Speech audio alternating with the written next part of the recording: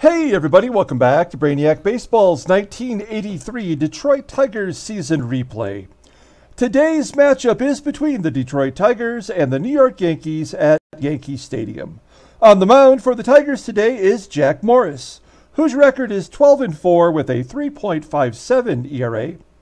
And pitching for the Yankees today is Scott Sanderson, whose record is 11 and 4 with a 3.94 ERA. And so the Tigers lost their fourth game in a row. This is coming off winning seven in a row. Uh, I felt like we were finally uh, turning the corner, but we turned the corner right back into ourselves, I guess. Because we lost four to nothing yesterday. Ron Guidry, he was uh, just dominating. Uh, I think we had five hits. Uh, George Brett had two of them, which was impressive because both hits came against the left-hander. Uh, so that was good. He was a player of the game yesterday, but otherwise, uh, not a very good performance. Uh, from our bullpen, um, uh, uh, Brian Kelly. Brian Kelly pitched three scoreless innings, but he walked five batters. Um, so he's not going to be available today because of that. But uh, so I, what I want to show you here before we get started with today's ball game is Jeremy DeJong, who is the artist who creates our baseball cards for this uh, video series, he actually found this this card right here. I'm going to show you uh, of Paul Gibson's son, Glenn. Glenn Gibson. So apparently, the creeper he was involved with a woman at some point of his career.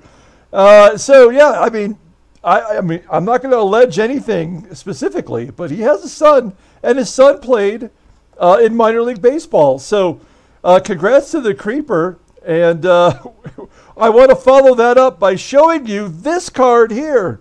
Here is the Brainiac Baseball Paul Gibson, the Creeper baseball card. This card is going to be a one of one here coming shortly. I actually saw the cards today. Uh, they'll be shipped, I would imagine, relatively soon. We're going to have a complete set of 15 cards um, uh, that are going to be numbered three of three. So there's going to be three cards made of each card only. One complete set for my own personal collection, one complete set for Jeremy's collection, and then I'm going to individually give away each individual card uh, in a contest. On top of that, there's going to be three cards, including this Paul Gibson card, that is going to be a one of one uh, giveaway. I'm not going to own one. Jeremy's he has the proofs, but he's not. He doesn't have one either. Okay, so um, I can't wait to show you the other two cards in that collection. But uh, yeah, the Paul Gibson one of one that is uh, probably the pride and joy of the collection. So um, let's go ahead and get started with today's game. I'll keep you guys uh, apprised of when uh, those cards get uh, completed and shipped to me. Uh, we will have a bigger contest involved with those cards. Uh, here's Jack Morris. He is our ace, and we need him to step up today to break this four game losing streak against the Yankees. as you can tell here, Brian Kelly won't be available today or tomorrow. Uh, he he did pitch those three scoreless innings. So, uh, but the rest of the bullpen is available. Uh, oh, of note, uh, the Yankees' current lineup betting 238 versus Morris. So he has had some success versus the Yankees. Uh, we're going to be facing Scott Sanderson, who's a right-hander. Switched out a couple of of the batters. I was I thought that Lance Parrish was going to take off in the second half. He did. He hasn't even had a hit yet. So we're going to put Terry Kennedy in there, who's also struggling, get him back in there. And uh, Mickey Hatcher will have the day off. We're going to get Greg Brock at the DH position today. Okay, let's go ahead and do the official Tigers lineup rundown. Batting leadoff, playing second base is Sweet Lou Whitaker. Batting second in center field is Rickey Henderson. Batting third and DHing is Greg Brock. Batting cleanup, playing first base is Eddie Murray. Batting fifth, playing third base is George Brett. Batting sixth, playing shortstop is Alan Trammell. Batting seventh in left field is Kirk Gibson. Batting eighth in right field is Glenn Wilson. And batting ninth and catching today is Terry Kennedy. Let's take a look at Scott Sanderson of the Yankees in his second season. He was traded midseason last year, made 20 starts. He's making his 20th start this year. He's 11 and 4 with a 3.94 ERA, 92 Ks, and 134 and two thirds innings pitched. Opponents are batting 278 against him. He's got one complete game. Uh, his fastball tops out at 89 miles an hour. His ground ball percentage is 41.9. He's got four pitches in his arsenal, but his fastball is his best pitch uh, and the only pitch above 80, which is the league average. A slow curve and a slider below it, uh, below 80, and uh, a changeup that uh, barely exists. Um, his overall rating is 85. The 26-year-old right-hander. He goes to free agency in 1985. Has he faced the Tigers this year? Let's take a look at his log. Yes, he has faced us twice. He got a win on April 9th, going six and two thirds, giving up nine hits and three runs, no walks, six Ks. That's a pretty decent performance. And then on May 25th, he got a no decision, going six and a third, giving up three runs on seven hits. Okay, let's take a look at the uh, Yankees defense. Looks like it is the same as the first two games of the series. They have five gold glovers out there. And we've got Sweet Lou leading it off against Scott Sanderson. Lou batting 281, 13 home runs, strikes out looking. Oh my gosh. This is not, uh, I hope it's not the omen that we're uh, accustomed to seeing early. There's a ground ball to short. Henderson out at first as Ozzie Smith makes a smooth play. Two down. Greg Brock steps in. 313 hitter, 12 home runs, and he walks. Always count on Brock getting on base. Runner on first. Switch hitter Eddie Murray up. Murray batting 313 versus righties as a left hander. And a tapper back to Sanderson. We strand Brock at first. We go to the bottom of the first inning. Here's the lineup for the Yankees today versus Jack Morris. Batting leadoff, playing second base is Willie Randolph. Batting second at shortstop is Ozzie Smith. Batting fifth and DHing is Otis Nixon. Batting cleanup in left field is Steve Kemp. Batting fifth and catching is Ron Hassey. Batting sixth at third base is Joe Lefebvre. Batting seventh at first base is Dennis Werth. Batting eighth in center field is Lee Mazzilli. And batting ninth in right field is Claudell Washington. Okay, let's take a look at Jack Morris. Jack, he's making his 20th start. 12 and 4 on the season. Almost won as many games as he did all last year. He's got a 357 ERA, 93 Ks, in 133 innings pitched. Opponents are batting 238 against him. He's got two complete games, both were shutouts. His fastball tops out at 94 miles an hour. He is a uh, ground ball percent uh, of 43.9%.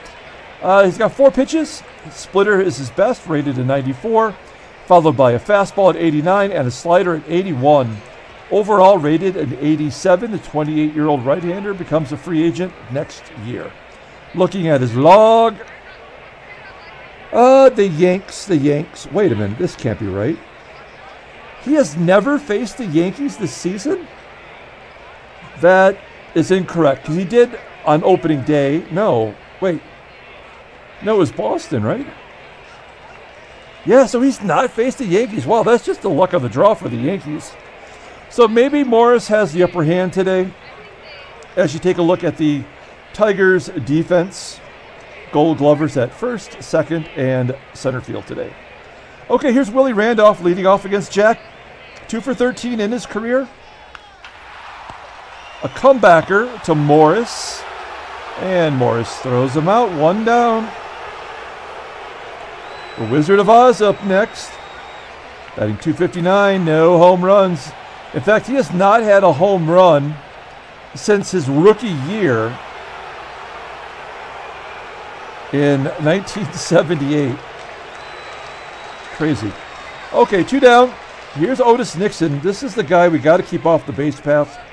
He single handedly beat us yesterday as he strikes out looking. So, a good first inning for Morris. We head to the top of the second. Here is George Brett leading off. Brett had a couple base hits yesterday. Hopefully, turning the corner. Another ground ball back to the pitcher, and Sanderson boots it. Brett is safe at first.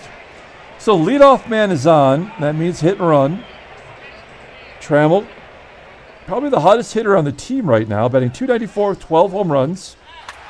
And another comebacker to Sanderson. Come on.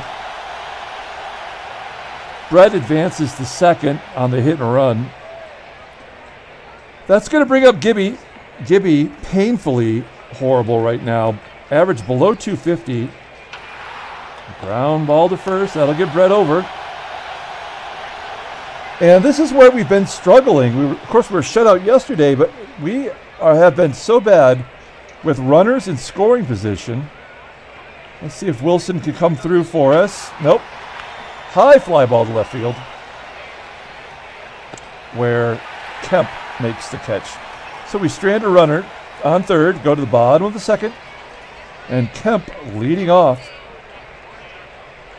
Kemp 311, 22 home runs, leading in homers and RBI. Base hit to center field, and Kemp is on first. That's the first hit of the ball game. Runner on first. Here's Ron Hassey. Definitely a double play possibility here. And Kemp was stealing. Why are they running wild on us right now? Thankfully, Kennedy finally caught somebody. Uh, he got off to a great start throwing runners out, and I can't even think of the last time he uh, threw someone out as Hassey gets a base hit to center field. So, again, runner on first for Joe Lefebvre. One down, and Morris him. All right, well, now I don't think there's much we're going to be able to do here. We're going to guard the lines, maybe uh, increase our chances at a double play possibility. There's a ground ball to first. Murray turns two. 3 6 1, double play. Ground ball gets out of gets us out of the inning, and we go to the top of the third. No score with Terry Kennedy leading off, followed by Whitaker and Rickey B. Rickey and he strikes out. While we are getting no production from our catcher spot. And I don't, like, whatever reason, we have stopped hitting altogether. Um, I don't know if we've reached that point in the season where all the uh, numbers have to get uh, recalibrated or something, as uh, Whitaker gets a base hit at least. There's no point hitting and running here. Let's just see if Rickey can come through. It's been a while. And he flips it to right. At least he made contact. Out number two. Let's see if Greg Brock can step up here. Nope. Fly ball to right. Man, we are just absolutely brutal to plate. Uh, so I need a little swig there. Bottom of the third, we got Lee Mazzilli leading off. 284 hitter, two home runs. Sharp ground ball to Lou. Out number one. Next up is Claudell Washington. He's got one home run in his career against Morris. Inside pitch that Randolph gets around on, at least sends a fly ball to center. Two down, we're back to the top of the lineup with Willie Randolph. And Randolph pops it up. Whitaker makes the catch in the outfield grass behind second base. So we go to the top of the fourth inning. Gabe is moving along. Yesterday's game, the shutout was only 25 minutes. um, with with uh, including the the pregame and the postgame. So it's a pretty pretty quick event. We don't get too many of those. Um, I could just push the button right now and just not think about it. There's there's nothing we can do against the uh, Yankees pitchers. I don't know if it's Yankee Stadium. Maybe that's having an effect as Trammell gets a hit. We're going to send him, may as well. We've been caught stealing, I believe, three times in a row. Gibby at the plate, and Trammell will be on the move. Fastball right down the middle, and we're thrown out again. Ron Hassey, one of the worst arms in the major leagues, and he's up to 34%. Uh, at, well, I mean, he does have good range. His defensive war is up there, and he is a Gold Glove winner. Only seven errors. Oh my God! How do you go from six errors to 26 errors to seven errors? That's crazy. Well, let's see if that changes uh, the pace of the game here. Getting caught on the base path usually turns things in the other direction as Smith will ground it to Whitaker. One out. Here's Otis Nixon. We're going to pull the outfield in. I mean, I just don't want any, any balls to drop in if I can avoid it. There's a strikeout. Only the second K for Morris. If he got seven today, he would hit 100. He is among the uh, top 25 in pitchers.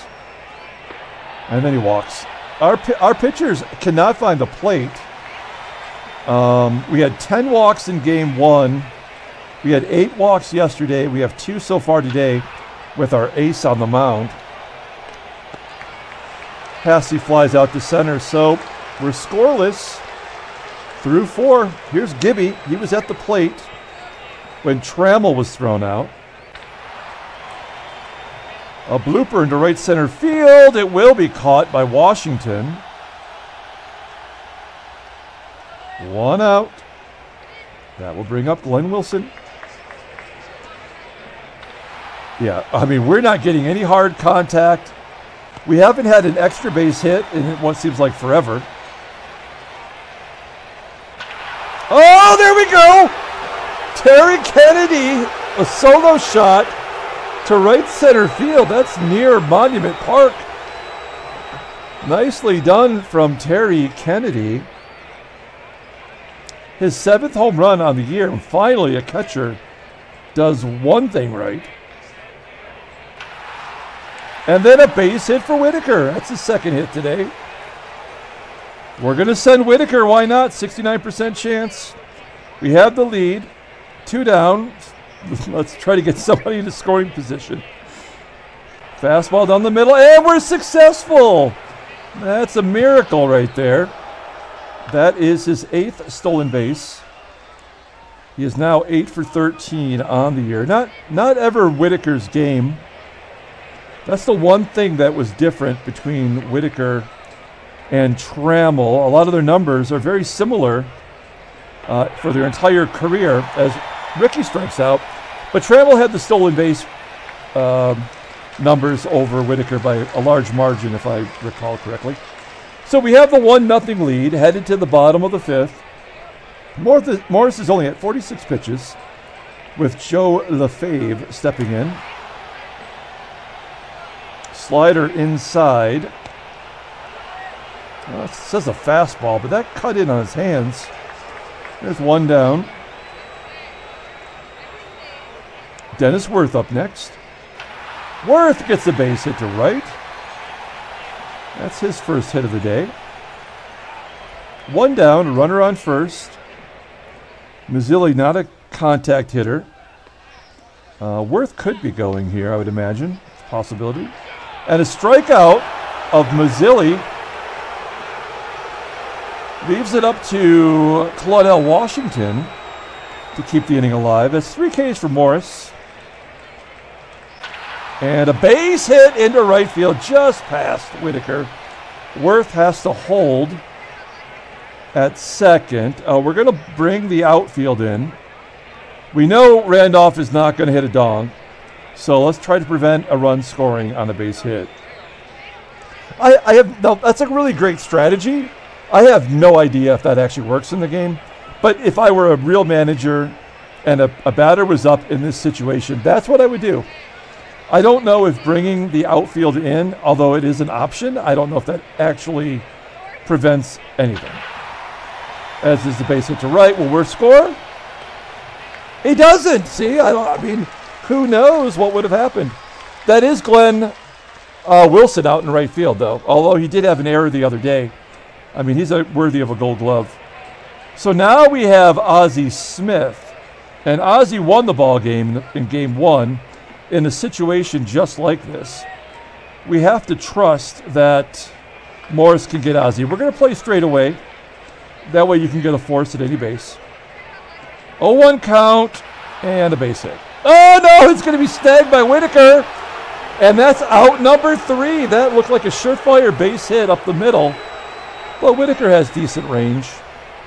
And we keep the Yankees off the board. So some close calls. We head to the top of the sixth. Let's take a look at the in-game stats. Uh, I guess despite Whitaker being two for three with a stolen base, I mean, Kennedy did hit the home run. That has given us the lead. And Morris has got a shutout going on, so. Okay, here is uh, Greg Brock. Walked his first time up. Look at that 620 slugging percentage versus righties. And he can't really get into the lineup. Scorches it to center. Caught by Mazzilli. One down. Here's Eddie Murray. Murray rips it down the right field line. That's going to be off the wall for a double. Murray pulls into second. That is Murray's eighth double on the season. Something we don't do a lot as a team. I did look. Um, Mickey Hatcher leads our team with 12 doubles, and we're well beyond the halfway point. Okay, so runner in scoring position for George Brett. Brett's 0 for 2 today. Hey, there's a base hit for Brett into center field. Murray scores. Do we want to go for two? Uh, no, we're not going to run on the gold glover. We will hit and run. Try to keep uh, the pressure on here. As Trammell steps up. He's one for two today. Oh, he swings and misses on that slow curve. And Brett steals second base. Brett does have, um, oh shoot, I guess he doesn't. I was thinking Brett actually had some pretty decent stolen base skills. You see, twice in his career he did have over 20 stolen bases, but he was a youngster. All right. So Brett in scoring position, and it's an 0-1 count to Trammell. 3-1. Fly ball into right center field. Brett, 70% chance. Uh, yeah, we are gonna we're gonna test Claudell Washington. Here we go. 70% chance, and he is safe at third.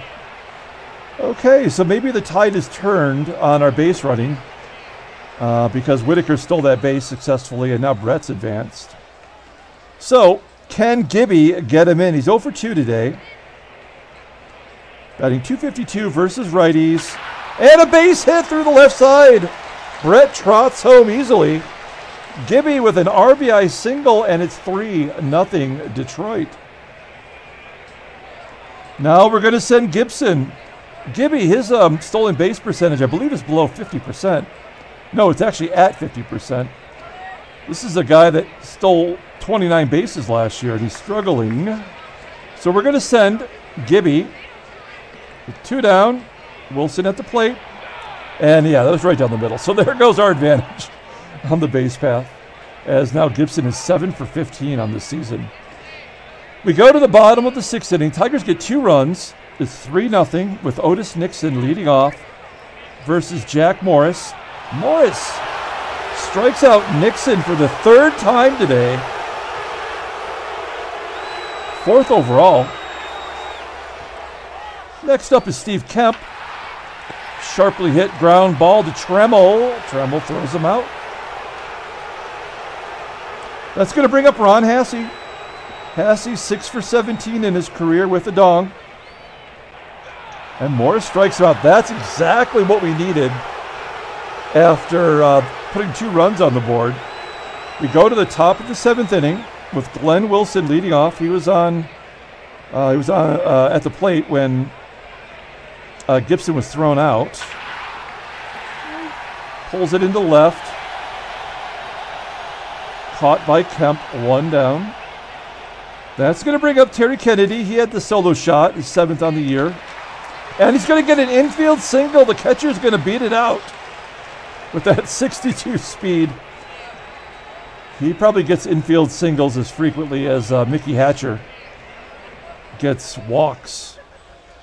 So we've got a runner on first. Here is Sweet Lou. He's two for three with a stolen base today. And a ground ball to second. That's going to be an easy double play. Oh, no! Whitaker beats it out. That should have been two.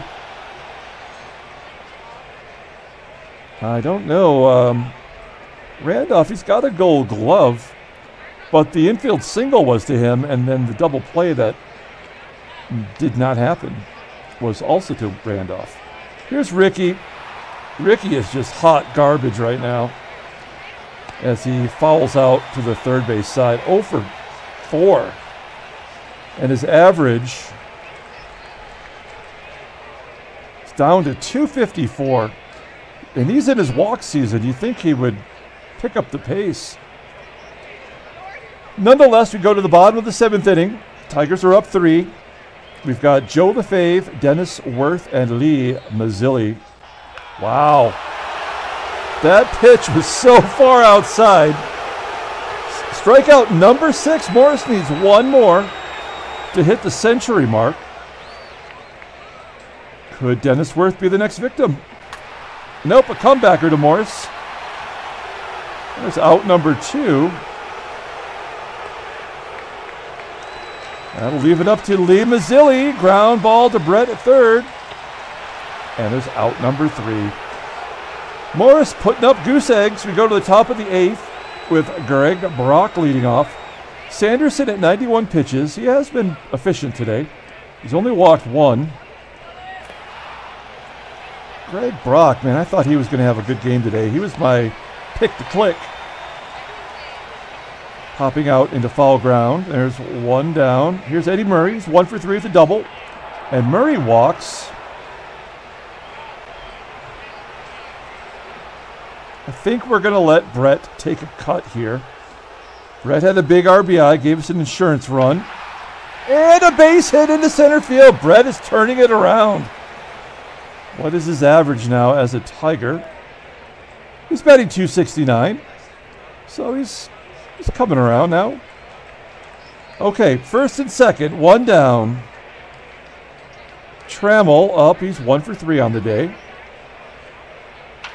And a ground ball to third around the horn. Yes. Six, four, three. Double play. We go to the bottom of the eighth inning. Claudell Washington will lead off, followed by Randolph and Smith. There's another comebacker. How many have we had today? Someone keeping track? Who's scoring at home? There's at least six, because there was three in the first inning and a half. A ground ball from Willie Randolph. Tigers defense looking good today. Let's see what happens in the ninth. And a ground ball to first. Murray steps on the base, and that'll do it. And that'll do it for Scott Sanderson. He hits the showers. Curt Kaufman steps in. Let's take a look at Curt Kaufman. He is their closer.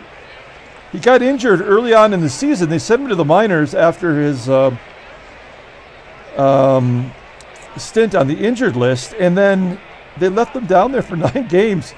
They called him back, put him back in the save uh, situations, and he's been looking good. Oh, he's got a 97 mile an hour fastball. His ground ball percentage is 46.9%. His fastball is a 99. Holy cow. I think that's the first one we've seen. I wonder if uh, Nolan Ryan's is a 99. It should be, right? Overall rated an 86. He's a 25 year old righty who goes to arbitration at the end of this year. He has not given up a home run this year after giving up nine last year. We've got 7, 8, and 9 due up, starting with Gibson. Well, Gibby gets around on it.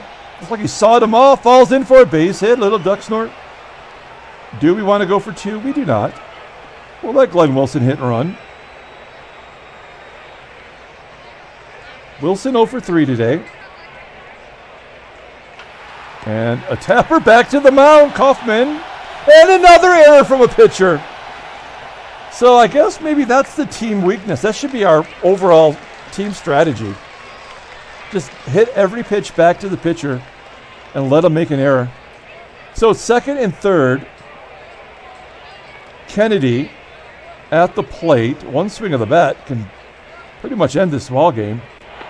Kennedy walks. Now the base is loaded for Lou. Um, yeah, okay, we're going to let Lou take a cut. I mean, bases are loaded, nobody out. Here we go. 1 1 count. Ground ball to short. A double play, a run scores. No RBI for Whitaker. But we do add the all important insurance run, making it 4 to nothing. And then Rickey does what Rickey does, which is nothing. Oh, it's a walk. Um, okay, let's do it. Greg Brock Scott. Brock is over 3 with a walk today. He's due for a big hit. That's not going to get it done. Grounder to Randolph, and we go to the bottom of the ninth, so we push one run across. It could have been bigger, should have been. And Morris, although there are a lot of lefties coming up, he's only at 95 pitches. And again, he's one strikeout away. So we're going to give him a shot to wrap up this ball game on his own. Starting with Otis Nixon, who is a pest. He's over three. Golden sombrero. Infield single. Yeah, that's that's the start of something bad for Detroit. Here's Steve Kemp. I mean, Nixon might be hitting and running. There's no reason for you to run. Base hit. Yep. We're in trouble. We are in real trouble here. All we can do is hope for a double play. Ron Hassey strikes out looking. Okay. That's strikeout number 100 on the season for Morris. That will bring up Joe Lefebvre. Three for 16 in his career. Oh, he walks him. I mean, I mean, what are we going to do? I guess we, we're going to leave him in there. We're going to leave him in there. This is his game to lose. One swing of the bat from Werth, and the game is tied. Dennis Werth does have a home run in his career versus Jack. 0 2 count. A pop up on the infield. Trammell fading back into shallow left field. He catches it. There we go. And we are down to the last out. Will this be a shutout for Morris? We've got Rucker up in the pen. He is our new closer. This will probably be the last batter, one way or another. Here we go. 0 2 count. He strikes him out. There we go. We show a little faith in Jack. Tigers win 4 to nothing, same as we lost yesterday. Handshakes, butt slaps, sloppy steaks. Okay, let's take a look at these standings. So we got one out of three from the Yankees at Yankee Stadium. Um, we're one and a half up on the Yankees, one and a half up on Boston. Baltimore falls back to six. Um, okay, yeah, we go back home and face the Twinkies next. Let's take a look at headline news. Um, I apparently missed something in one of these games yesterday.